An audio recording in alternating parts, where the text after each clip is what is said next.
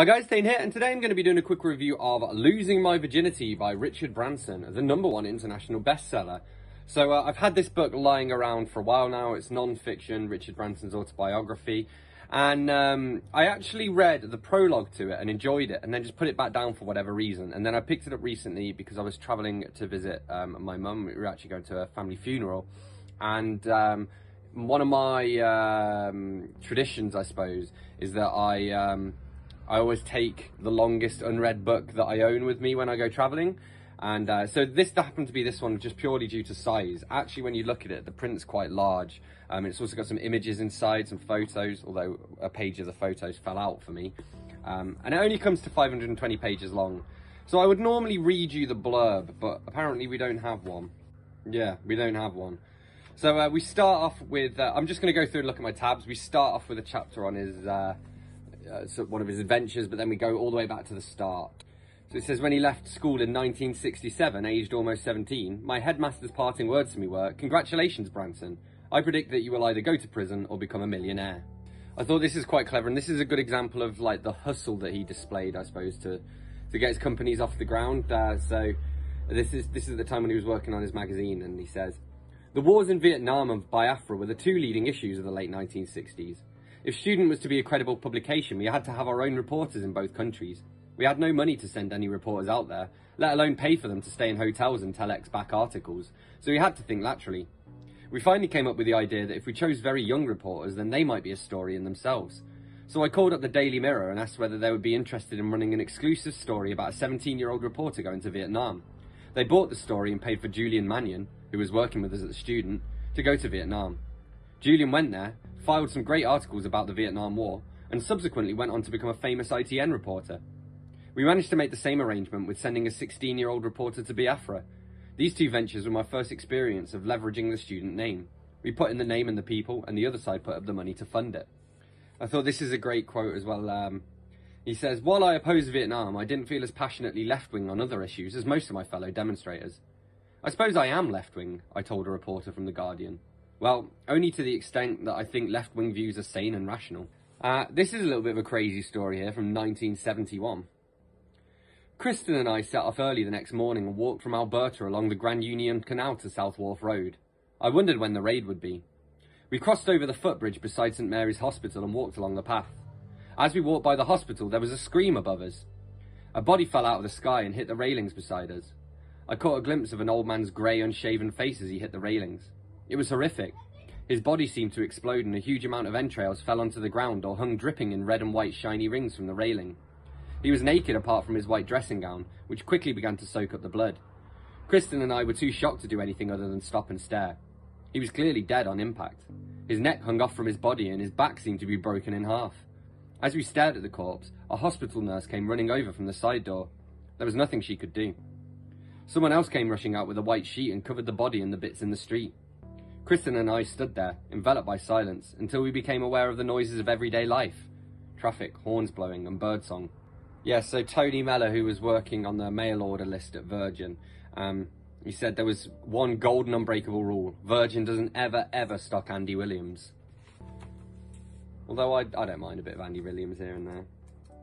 We get this quite bizarre paragraph here as well, but, you know, it's interesting.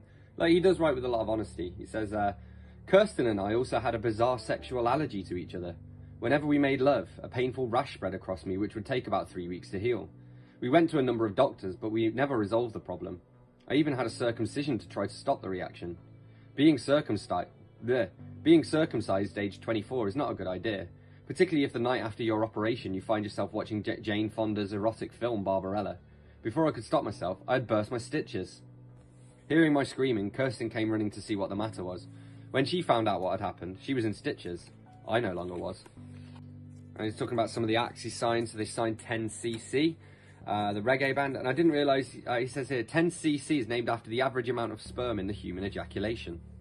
They almost had to, um, because of the Sex Pistols album, Never Mind the Bollocks, they basically had to linguistically define bollocks. Um, so we get this. So one of your staff has been arrested for displaying the word bollocks, said Professor Kinsley. What a load of bollocks. Actually, the word bollocks is an 18th century nickname for priests. And then, because priests generally seem to speak such a lot of nonsense in their sermons, bollocks gradually came to mean rubbish. So bollocks actually means either priest or rubbish, I checked, making sure I hadn't missed anything. And it does. Uh, we get this bit here. Uh, there was no way out. Over the next few weeks, my visits to Joan amassed me an impressive collection of old hand-painted tin signs which advertised anything from Hovis bread to Woodbine cigarettes. One tin sign read, dive in here for tea. I also bought a large pig which played the cymbals and had once stood in a butcher's shop. One of my favourite signs was an old picture advertising Danish bacon and eggs which showed a pig leaning casually against a wall listening to a chicken singing. The chicken was celebrating her freshly laid egg, and the caption to the scene was, Now that's what I call music. I gave this to Simon Draper, since he was always terribly grumpy in the mornings until he had eaten a decent breakfast. He hung it over his desk, where it later inspired the title for our annual Greatest Hits compilations, Now That's What I Call Music, which have reached number one every year since. Didn't realise that Virgin were responsible to those things. I think they're still going as well. And here we get the, um, this is the origin of Virgin Airways. This story's been told quite a lot actually. Um, Joan and I stayed on Beef Island for the rest of that holiday, and it was there that I set up, and it was there that I set up Virgin Airways. We were trying to catch a flight to Puerto Rico, but the local Puerto Rican scheduled flight was cancelled. The airport terminal was full of stranded passengers. I made a few calls to charter company and agreed to charter a plane for $2,000 to Puerto Rico. I divided the price by the number of seats, borrowed a blackboard, and wrote Virgin Airways, $39 single flight to Puerto Rico. I walked around the airport terminal and soon filled every seat on the charter plane. As we landed at Puerto Rico, a passenger turned to me and said, Virgin Airways isn't too bad. Smarten up the service a little and you could be in business. I might just do that, I laughed. And then I don't really have any notes here for a further 170 odd pages. There's just a lot of legal battles with British Airways, basically, which weren't particularly interesting. It says here, uh, Virgin marketed Sega as the cool game to play, and initially we sold it on the basis that while your younger brother may be happy with Nintendo games such as Super Mario and Game Boy, the smarter games for smarter kids were ones such as Sega Sonic the Hedgehog. Then, as the market developed rapidly, we found that younger and younger boys were buying Sonic. They all wanted to be like their older brothers. And th this is, I think, from my perception of it when I was a kid, Sega was definitely perceived as the game, the console that was for younger kids and then Nintendo was like the hardcore gamers console. And then something called the PlayStation came out, but I didn't have one until like five years after it was first released because we never had any money. So, as I say, there's a lot of this stuff about the sketchy stuff going on between BA and uh, Virgin. And uh, I'm just going to read this one here because I think this is very typical. Then, on 16th of July, Lord King stood up at the British Airways annual general meeting and announced that British Airways would stop making its annual donations to the Conservative Party. Lord King had failed to spot that this gave away the fact that they thought that donating money to the Conservatives in the past had helped them secure various privileges. Some critics pointed out that these same donations, which totalled £180,000 since BA had been privatised in 1987, had helped secure a sympathetic hearing whenever British Airways needed to speak to the Department of Transport. If an airline in Nigeria gave money and free air tickets to the ruling party in return for being granted a monopoly, it would be scorned in the West as being blatantly corrupt. It's impossible to do business in Africa, people would retort. Look at the Nigerians, they're so damn corrupt. The round of applause that British Airways won for this announcement at its annual general meeting on the 16th of July struck me as amusing. I thought this was kind of funny as well, bearing in mind later events. Um, they were talking about tape recorders, and Chris says, uh, believe it or not, the News of the World are the only paper to have got that all sorted. There'll be, there'll be nobody there now, and tomorrow's going to be too late. I can believe that the News of the World would be the only newspaper to have all of hidden cameras and microphones sorted, considering that they later got done for wiretapping people's phones.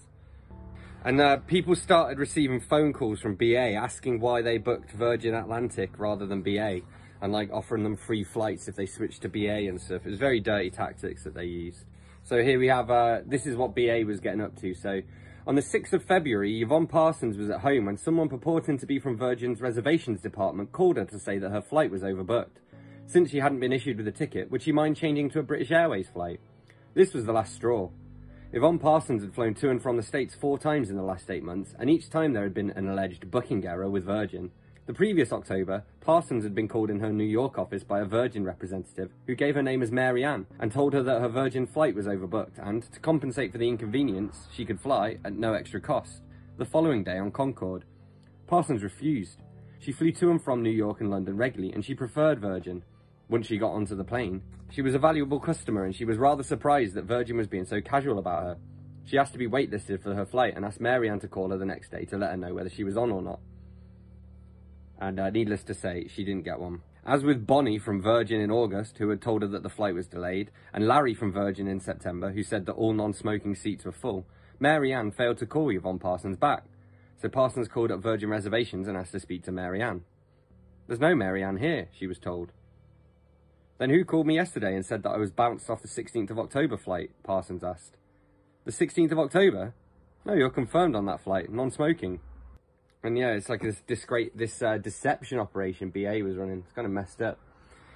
So all in all, I mean, I did think this, the war with BA probably took up too much of this book, and it kind of felt as though Branson has had got this vendetta that you know, it was an unfinished vendetta against them, you know yeah, overall, I thought it was pretty good. I think the stuff with BA was probably, um, it went on a little bit too long, really, and um, this probably could have been 100 pages shorter, and it would have still been pretty good. But um, yeah, there's lots of stuff here. I would say it's probably best to read if you're interested in business, you consider yourself an entrepreneur or something like that, and you want some ideas to become a better business person, or if you're for whatever reason really interested in Richard Branson, then I'm sure you would like it as well. So um, I gave it a uh, four out of five, yeah.